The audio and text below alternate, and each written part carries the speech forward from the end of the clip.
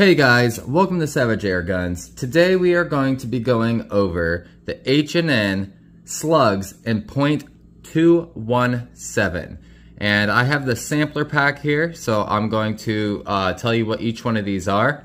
We're going to be launching them through the chronograph on the Invader without any kind of suppression on it. Uh, my Invader does not have any adjustments or anything to the hammer spring. It is completely stock. So we should get accurate readings out of it and be able to tell what the Invader can push different weight slugs at. So these slugs are in 0.217 cal. You can also get them in 0.218. If you look, the back's just a little bit concave. And they are a very shallow hollow point. All right, so the different weights of these are 21 grains, 23 grains, 25 grains, 27 grains, and or 30 grains. So that's all the different sizes we have. All right, so one thing you gotta remember is slugs are much heavier than a pellet is. So just to give you an example, this is the 21 grain and the 23, 25, 27, and the 30. Now, if you look at this, here's your standard Crosman hollow point, and that's way down here on the 14s. We're, we're not even to the lightest slug yet. Take something like the Terminator from H&N, okay? And that's at like 16 grains. So we're still not to the lowest slug yet. You take something like a 25 cal. Now, mind you, these are these are 22 cal rounds. So take something like a 25 cal field target trophy. This weighs 20 grains. So it's still not even as heavy as that one is. You can use the H&N silver points. Those ones weigh 24 grains. So they actually fall somewhere right around here. Now, if you take a H&N Crow Magnum in 25 cal, that's 26.24 grains. So that one only falls right there. It, it, it'd be like dead center between those two slugs. Then if we take something like the Barracuda Hunter, which is the one that I like to use out of the 25 cal, this is a 27.47 grain slug. So this one is just a little bit heavier than that one. The Barracuda Hunter Extreme, this is a 28.24 grain round. So that's still not even as heavy as our heaviest slug. That's about right there.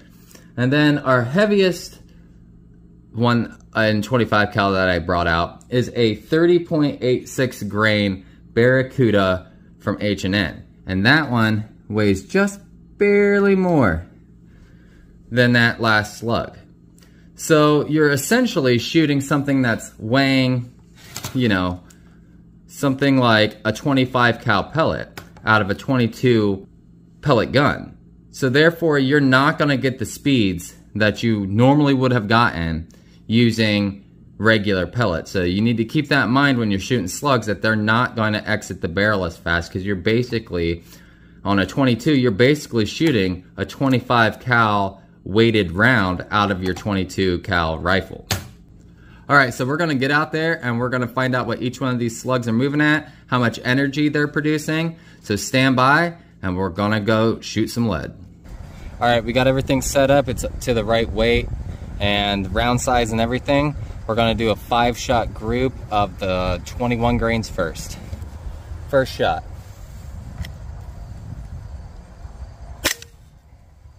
Seven seventy four, thirty seven point eight joules. Second shot. 769, 37.4 joules. Third shot. 7 65.8, 37 joules. Fourth shot. 769.5, 37.4 joules. Last shot. 769.5 at 37.4 joules. Now I'm gonna go refill and we'll do the 23s for that five shot group 774 769 765 769 769 And the last two were an identical shot. Three of them were 769. So that's the 21 grains. I don't know if you can see this or not, but we are topped off again. This time we are shooting the 23 grains and we'll do another five shots. First shot.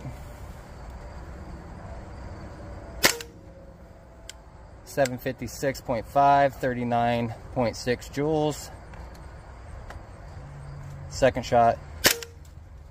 746.5, 38.5 joules. Third shot. 735.3, 37.4 joules. Fourth shot. 751.1, 39 joules. And fifth shot. 705.3. I don't know what was up with that one. 34.4 joules. For the 23 grains, our first shot was 756.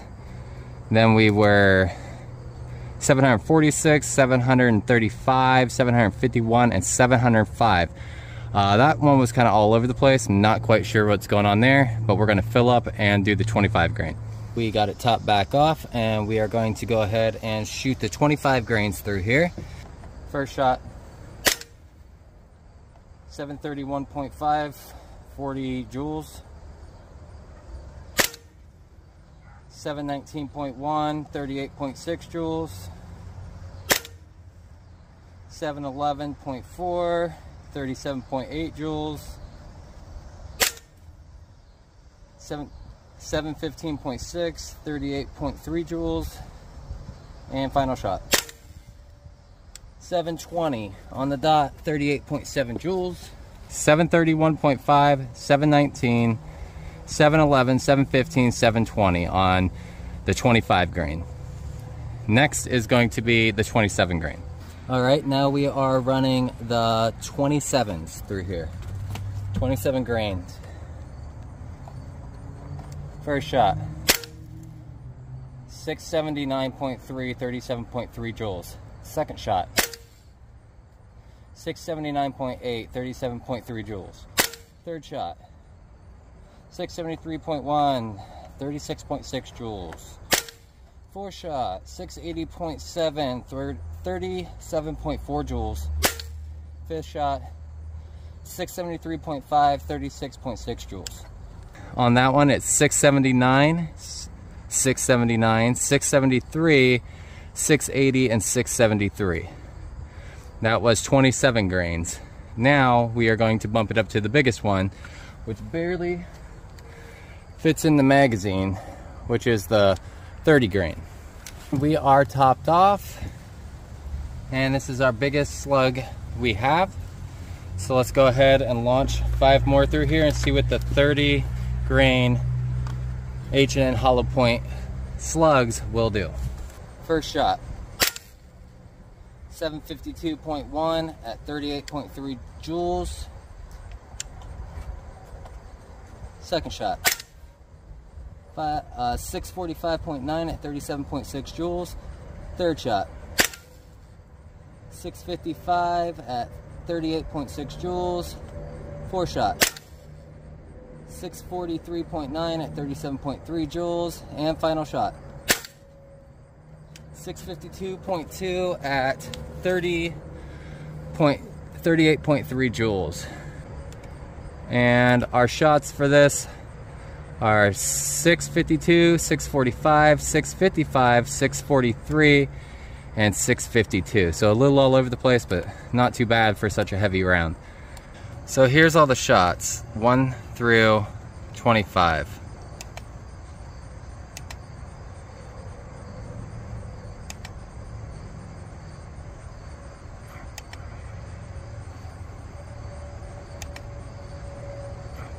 Alright, so let's recap all these numbers. In my opinion, 21 grain was the best performer with 3 out of 5 shots being the same FPS and by having the lowest standard deviation. Yet the 21 grain was also the second least powerful slug at the muzzle. Only the 27 grain slug was less powerful and not by that much. Even though the 27 grain was the least powerful. It did have the lowest extreme spread of all the slugs shot today, and it was the second most consistent shooting slug of the group. 30 grain was the second most powerful of the group at 38 joules or 28 foot-pounds, but was in the middle of the pack when looking at standard deviation. Still, it was one of only two rounds to go over 28 foot-pounds or 38 joules. So it's an all-around average slug with some good punch to go with it. 25 grain was the second to last in standard deviation and extreme spread, while boasting the highest muzzle energy at 38.6 joules or 28.4 foot-pounds. Even though it was second to last in standard deviation and extreme spread, it was a really consistent grouping if you didn't count the first shot, which was the only faster shot. Now, 23 grains for whatever reason, my fifth shot was comically slow and was throwing off the totals. But not even taking that into account, it still had the worst performance with standard deviation and extreme spread and was dead middle in muzzle energy. If you take back into account the last shot and then you look at the 23 grains, it was the worst performing slug of the bunch. But what do you guys think? Which slug would you choose? Do you want to see me shoot these at targets and check the accuracy also? I know this video took a little while to get out and there was a bit of space between me putting out content, but if I'm going over all the numbers and doing a lot of editing, it takes a little bit longer than usual. So I appreciate it if you made it this far and thanks for watching.